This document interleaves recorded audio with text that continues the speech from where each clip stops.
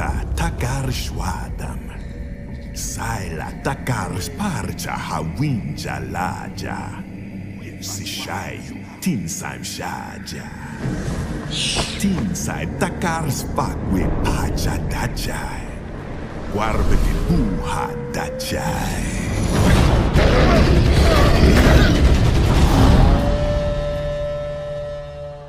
Far Cry Primal, a game set all the way back in 10,000 BCE in Central Europe. My first Far Cry game, and one of the most interesting and intricate games of all time to me. And probably one of, if not in the grandstand, because of it being my first Far Cry game, a game I indulged in a lot of time in while I was working at a movie theater. Probably would be my favorite Far Cry game going downhill.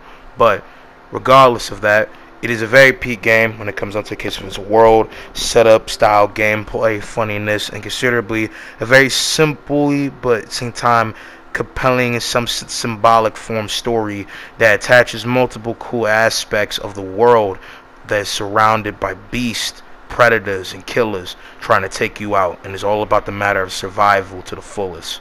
A game that I believe any person, regardless if they play Far Cry before or not, can get into. With its dope character study, with a great protagonist like Takkar, and in general, just a defined showcasing of a lot of aspects that are good for a video game that is separating itself from the main genre that is its series, but still stays true to the roots and builds off of it in a very interesting way.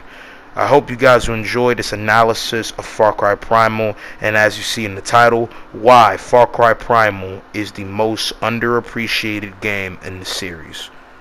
Far Cry Primal starts with Takkar, in his case of, I guess you could say, hunt pack with his brother, hunting a mammoth for food.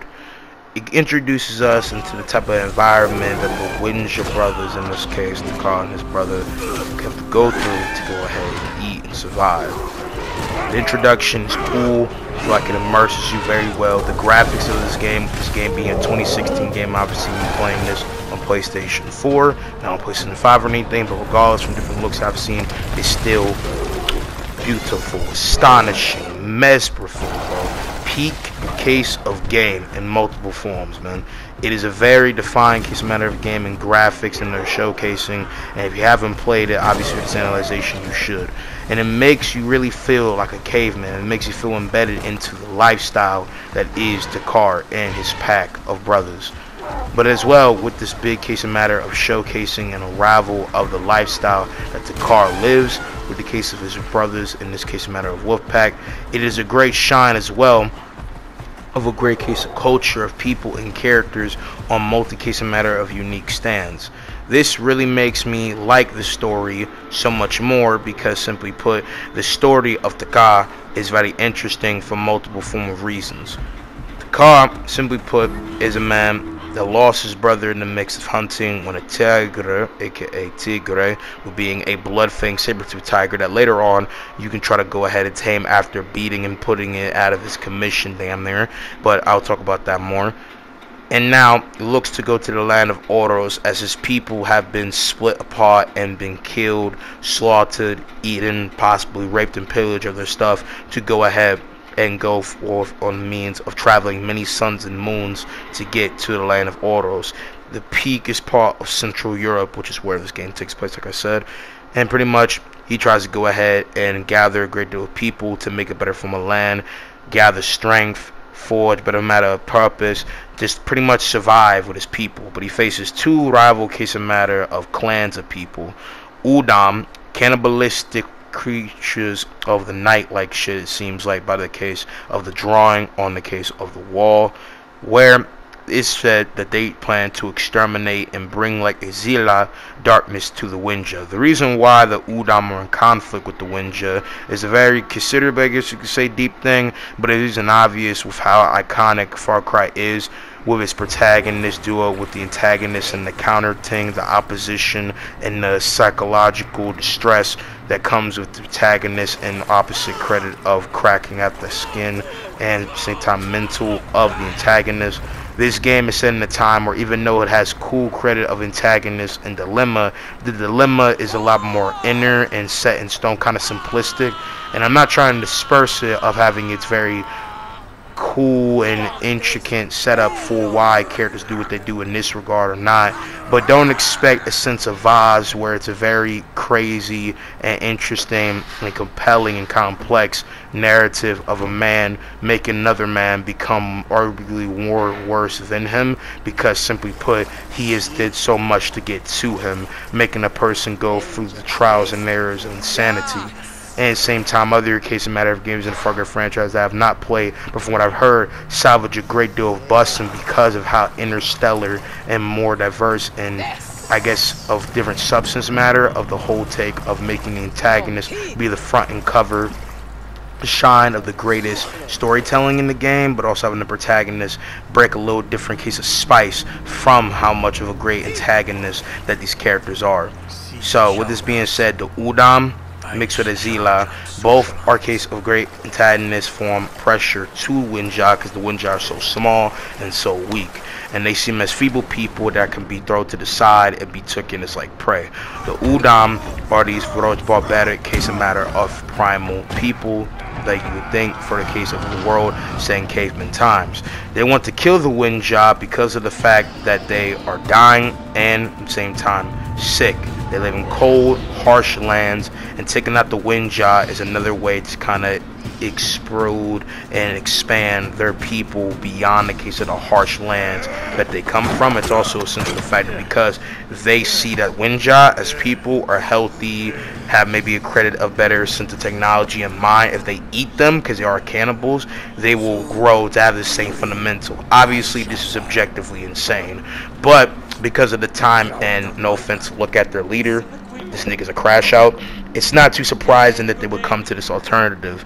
And so this is why you see multi case matter of Wenja eaten, butchered, beaten to a pulp, and multi disgusting devourment of human skin when they're eating, or the reason why they look the way they do, or simply put, sickness. Now, sickness grows in multiple forms, and this is a time where people cannot cure unfortunate ring of different unfortunate and bad, and they have been put for the ringer from disease, cold, harshness, and the fact that this is 10,000 BCE, and like with someone like Dah, who you defeat and bring to your people and make him one of yours, in the case of matter of Wenja for the credit of getting greater form help in the masses of power and other stuff, makes him come to you with different case of matter of bar and purpose and things and there's a great showcasing of humanity and the fine case of I would say character arc for Dah and Takkar and opposite and when Dah dies of a tumor you really feel bad for him regardless if he was your enemy he was like chieftain to the Udam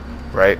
But regardless though of that as well Zila is the fire group, aka the of people that scorch people in the name of sun god, religious matter of takings. They do some Aztec level of matter of crazy antics to get the job done against the Wenja. And they are led by someone like Batari, who with her people fears Grazi, this ancient sun god, greater magical, mystical, Hapsa stuff.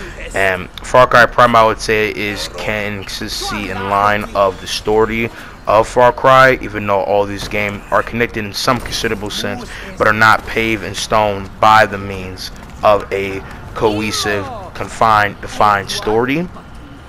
Izila represent a sense of craven antics from a religious and sporadic figure, especially since Batari represents a person that will manipulate, control different setups of different things to spew the greatest sense of out of pocket, see, and fuck shit into play to make about the greatest sense of path and control of power like on some Citra shit which I don't know if that's supposed to be the parody because she kind of moves has the body figure and look and deliberately is kind of moving like Citra but the difference between her and Citra to me is the fact that with Citra she has a very defined sense of purpose and feel, voice actress and representation, what she does, and the whole sexual tension, mix arousal, and the pleasures of being an ultimate warrior for her come a lot more set in stone. Batari is pretty much a control freak and entitled bitch and deserves to go ahead and suffer by the hands of Takkar, especially because what she does to people is pretty much just out of just means of evil. Fuck shit. Granted, both groups are evil, but to me, the Udam will always be a little bit more interesting and arguably compelling because at least from Ull's and their people's perspective and a little bit more humanized of them, they see their reasoning as being a grandstand reason to go ahead and do because they are dying. They're the unfortunate opposition that do shit because of their unfortunate situation. Izila do for Power Broker, and Udam are willing to destroy Wenja as a whole to get what they want. Izila could put them in the crossfire. Tensay is really more of a emotional person in this regard to them because how he was treated and him being burned and treated badly to them. In most cases, a matter of people in the Wenja are suffering because of his old demon. But this doesn't hurt as much to me as like what the Udam did because the Udam have an indirect case of matter of pressure on Wenja in the showcasing of when they came and attacked the tribe of the Wenja, which I will go ahead and play for y'all in the regards of how compelling that is to me when it comes down to the unfortunate sadness of it.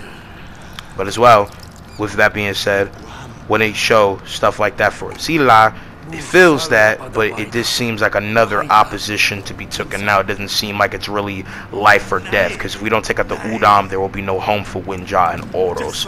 You take out Zila, same thing considerably, but they really don't have to worry about it, especially because remember, these are two groups in a big land, and so all three groups, Wenja, Udam, and Zila, they all fight each other. So to me, that's the like split intrigue of it. So yeah, that's pretty much what I have to say about the two groups. But they both work in interesting peril. Obviously, think Ull is a little bit more interesting of an antagonist than Batari because of how she moves with shit and this pure fact that I feel like in the case for how Udam do stuff as a group and why Ud does what he does and his design, his voice actor, and the credit of the fact that I just feel like Udam is more interesting, that pulls me in more. I also just think they are like the definition, bare bones, set in stone, intricate setup of a primal group of people, while Zilot, they touch the same feel, but they seem like something that you would maybe see like an Aztec game, something that's kind of out of general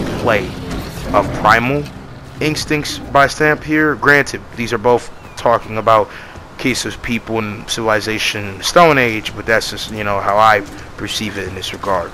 But even then, still, there's a lot of beautiful duet with these characters and why they do what they do. And I really do like how it's set up, especially Takkar as a protagonist, which is a thing I wanted to go ahead and talk about in general. With the case of this first point obviously being about story, with the story, Takkar is an instant protagonist with his voice actor, his feel, his design, his capabilities to be able to be a beast master, to have eyes of an owl in the sky, control ferocious, brutacious, mean beast, ride a mammoth off into the distance and siege beast different people, be able to feel the world around him like an ultimate warrior, more than the ideal staying sense of warrior feel that maybe you would feel for Jason Brody in the case of Far Cry 3.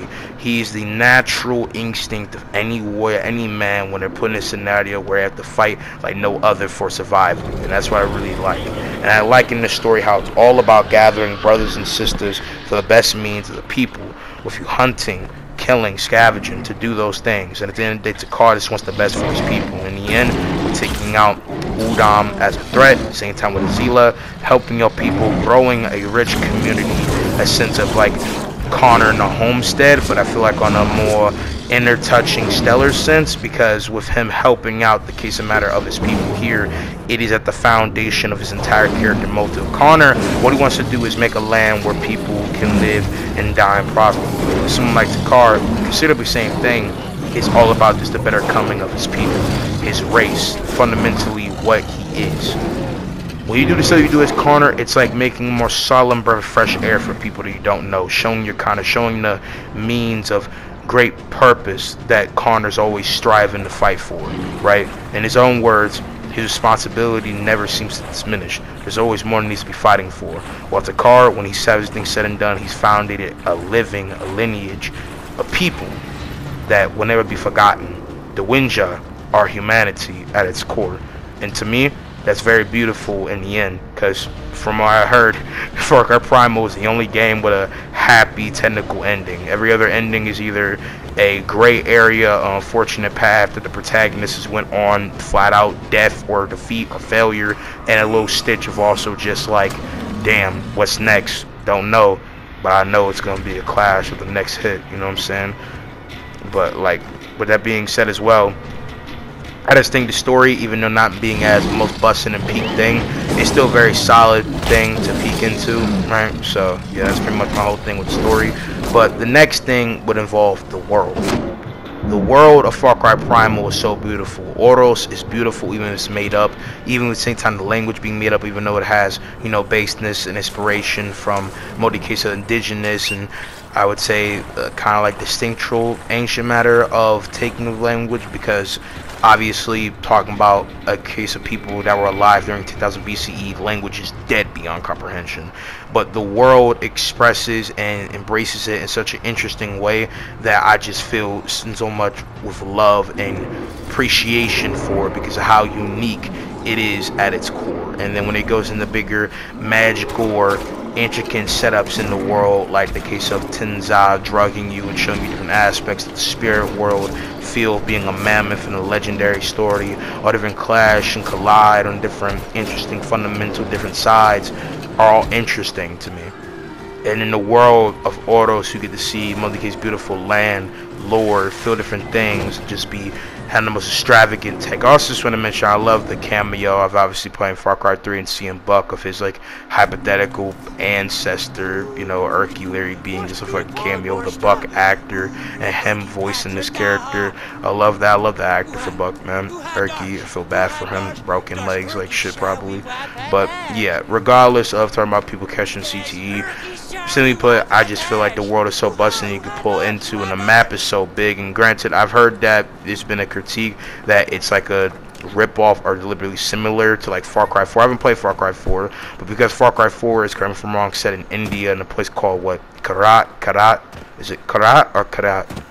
Where the fuck? You, you don't know what I'm trying to say. Listen, newbie here. I plan to play Far Cry 4, maybe backpedal 2, 1, I don't know. I just haven't been my mind and mainline. I've been busy crafting this stuff and life stuff. So I'm sorry if I haven't played like a whole new playthrough thing. I plan to do some stuff for, For Honor when it comes down to the new hero. But beside the point, simply put, like again, the world is so extravagant, busting with having the case of matter of stuff like that where you could take base from another game and make some intricate tie and more I guess 12 some more busting precaution and shit just because of how freaking open and diverse the world is from an inspired form thing like the case of matter of Far Cry 4 because it's because something similar to a world or even damn near copying some aspect doesn't disperse it of its uniqueness or great sense of adventure. Because from what I know Far Cry 4 possibly could not be as adventurous as Primal even where it's set in beautiful India because simply put that the case Far Cry Primal is taking place in an ancient side of the world that takes you down to the bone ass roots, you know what I'm saying, of the being of a survivor, a hunter, a warrior, killer is some honorable credit. It's very extravagant and beautiful. Granted, I want to express the beauty of Far Cry 4, maybe I'll change my mind, but from what I know, this is a peak ass game in the grandstand for its world and feel. And to me, is the most unique in bare bones and going to the fullest sense of hype representation of a world that no form game, for what I've known, except for maybe Ark Survival, can bring you into in the same sense of feel. Because of how so down to the ground, so freaking general ground and immersive that it is. It is so beautiful in every context, feel, aspect, atmosphere. You get so tapped in that it's so beautiful. You feel me? Like it's just beautiful, bro. Straight up. But then we have gameplay. Now, gameplay I feel like is the very versatile bit. Obviously, with you being able to have case a beast as your pet and tame wild killer animals and ride mammoths and shit, it shows a great feel of cool, credit of interesting feel. I heard in other games they kind of want to take this method and using some field. The game that I heard they took this method and using it in form, even though it's not exactly on the same sense of taming pets as deliberately having pets but being able to ride them and do some interesting shit with them in different forms is like Far Cry 5, but that's only from what I've heard.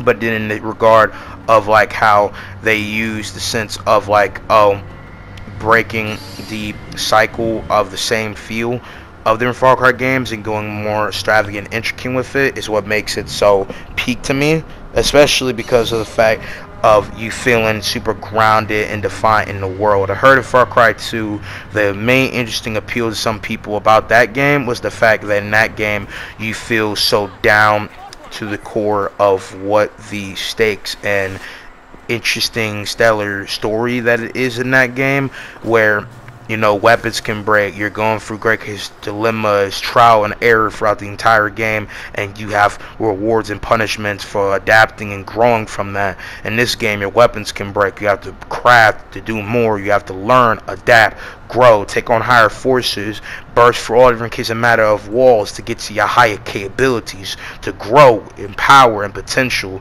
that is what makes the game so interesting to me. Granted, there are some cons I would say with the overarching case of matter of gameplay. You know, like not having a block or counter button. You don't have a melee if you somehow break all your weapons. You have someone like Ooh, even though I think the boss fight is cool, this motherfucker literally is unstoppable until you pull out something that has to fucking destroy his insides. You have to get an HF blade to kill this motherfucker. This motherfucker took me fucking half an hour to go ahead and kill, and that's fine enough for a boss if they have dope ass gameplay, great challenge, gameplay, and ethics of the fact that they are a built different person. He's built different beyond comprehension.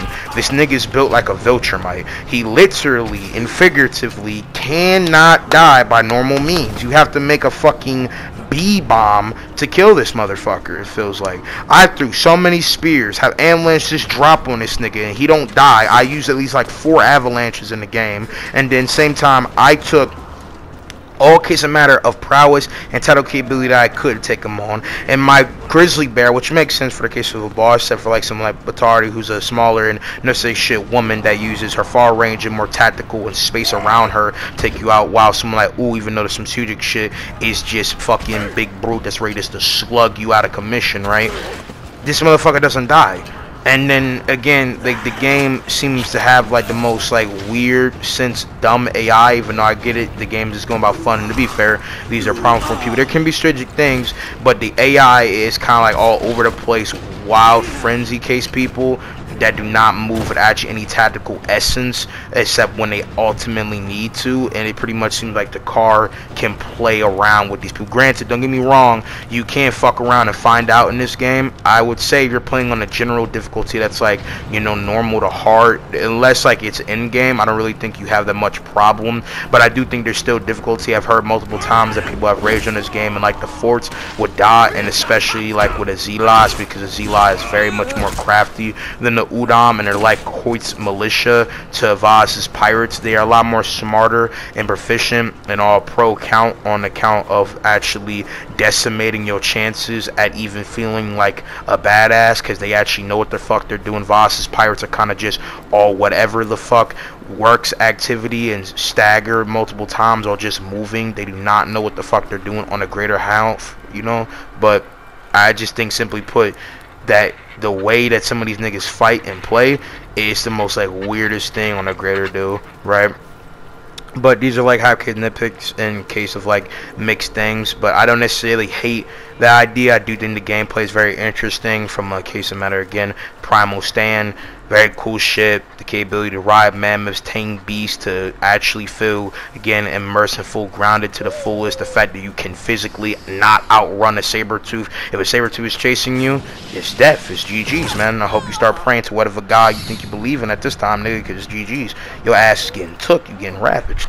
But as well, like if we want to talk about boss fights again, Udam's leader, Ooh He's cool, and the Chieftains are cool. They kind of play the same thing, Slugger build, which kind of makes sense for the sub boss to the ultimate boss. As I heard, like in Far Cry 4, that if you take out these greater Imperial stances places, right, that stand as like the foot ground of power for the final boss or whoever is the main head honcho that you have to face, they kind of stand as like case a matter of a thing to expose weakness, destroy chances, and also at the same time perfectly fittingly body the case of the person in the long run. Like for weaknesses, I would say that it's shown multiple times in XP and credit of string of different things that when you take out the case of these outposts or big ass fucking pedestal places of power that you have the chance of wrecking the chances of greater strength from someone like a Zilas, Lita, Tari, and U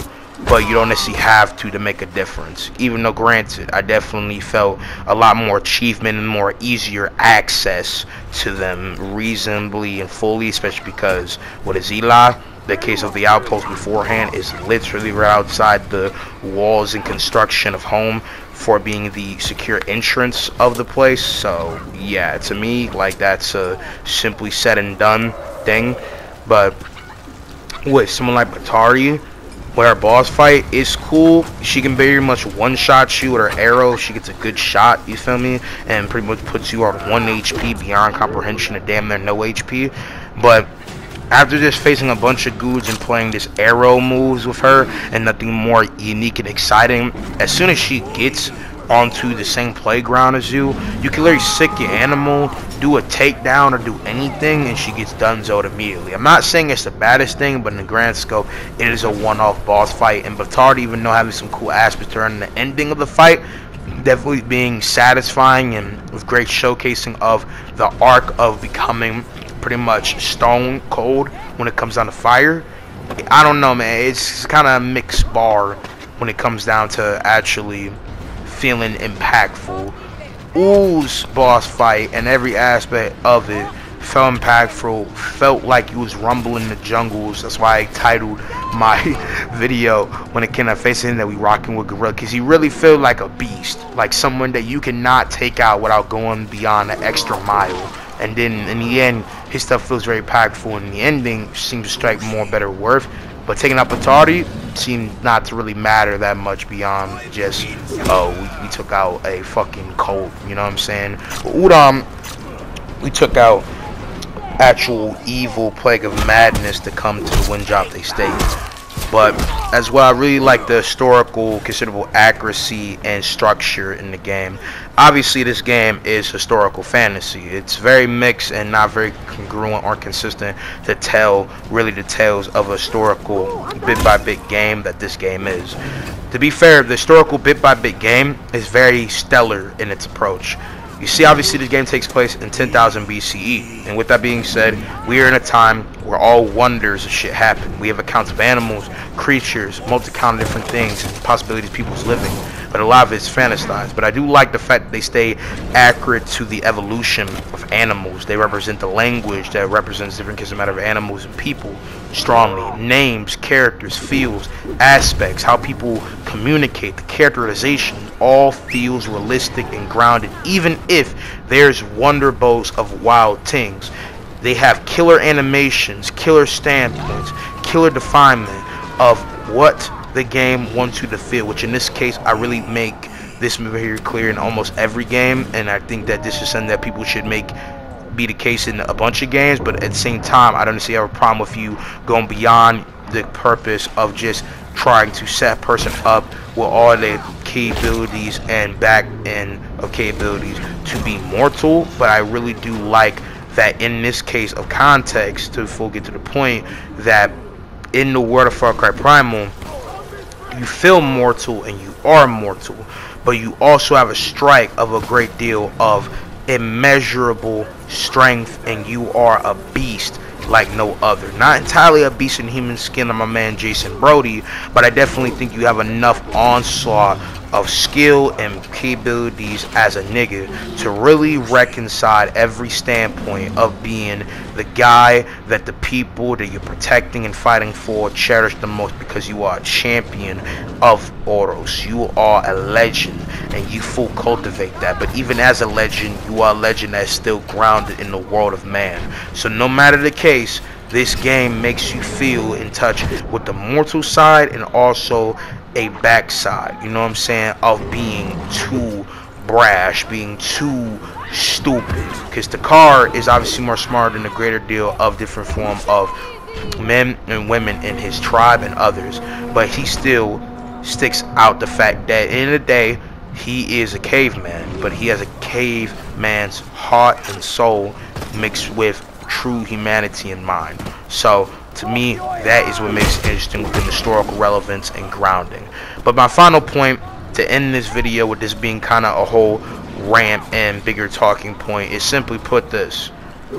What makes it so much of a defined game to me and makes it in conclusion I would say a 8.5 to them and 9 out of 10 is that the game feels like it's its own game. It doesn't have to be aligned with Far Cry. Obviously, it keeps Far Cry's roots within the game. It stays in tune with it. But as a sequel and technically in order, being technically Far Cry 5 itself, and striking a great deal of bars, like how AC Rogue did, even though not as good as my opinion. I'm not saying Far Cry Primal is better than AC Rogue, even though I do think Far Cry Primal has some better stuff than AC Rogue, but that's besides the point. It strikes a great deal of the bust and appeal and favorment that people have always been wanting from Far Cry. I feel like ever since the games after Far Cry 3, even though I have not played them, I have heard multiple times that they don't stand in the same bar of peak as Far Cry 3. Neither does Far Cry Primal. Far Cry 3 is one of, to possibly, without even needing to play the other game, by all accounts, the best game in the series. I don't think a lot of people would argue with that if you played the games. But Far Cry Primal stands so out and it's so unique to where, to me, being my first game where I didn't need to play Far Cry 3, I didn't need to play Far Cry 1, I didn't need to play any consistent game. It stands so definedly unique and feel. Weapons can break. Animals, creatures, brothers, everyone in this world feels so communalized and defined. We have children, people loving each other in multiple ways I cannot say for YouTube reasons. And just being people and everything in the grounds of this is feels so communitized. Like for me, other games I've heard in Far Cry 3, regardless of the community you can meet and have be mildly burned to different sense of matter of intrigue and intricacies of take and play.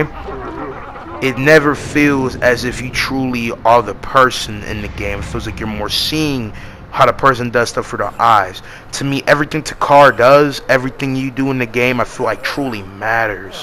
How you approach things, how you fight, how you hunt, how you gather, how you scavenge, how you sleep, how you move. Especially you're playing on pretty much one life difficulty.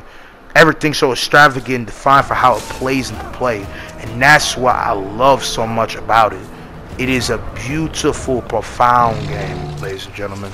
And that is why, to me, Far Cry Primal is the most underappreciated because this game stands as a testament to what people who actually care and give a damn about the game beyond the case of money and the recycle of the same thing or the iconic statement that's been put upon a lot of game developments. But I feel iconically, as obviously the company that built the statement of did I ever tell you the definition of insanity is sparked a whole new case of matter of meaning and purpose and sentiment for it beyond proportion, right? Because it is just a external thing that stains multi kind of people's minds because how iconic their villain, aka antagonist is, where it is a multi-run of the same thing back to back and trying to be different but never making a difference.